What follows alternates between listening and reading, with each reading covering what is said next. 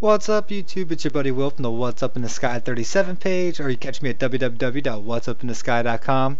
Tonight we are looking at the new rover pictures. There's a new billion one, that billion pixel Rocknest image that shows a whole panorama of the Rocknest, a billion billion pixels.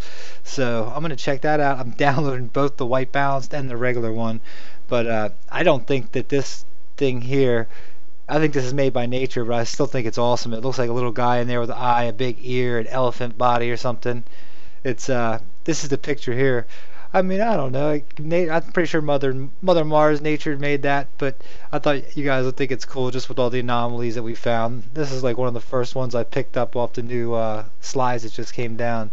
If you'd ever looked at it, if you just type into Google um, Curiosity rover raw images and go to the Mastcams go to the the, the front Hazcams. There's all sorts of ones. Most of them have the black and white fish eyes, but uh, these are really good. These uh, Mastcam shots. They're uh, definitely high res. They're pretty cool.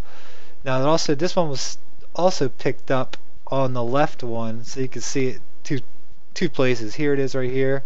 These are all the new ones that came down. There's a couple neat things up in a couple of these I'm to try and do before I go to Firefly this weekend. Dover, Delaware Music Festival. I'm pumped. Um, but check it out. I, I just nice little short one for you. Much love, guys. Hit subscribe if you like my videos. Once again, my name is Will from What's Up in the Sky.com. What's Up in the Sky 37. Thanks. If you like my videos, share them. Take it easy. Much love.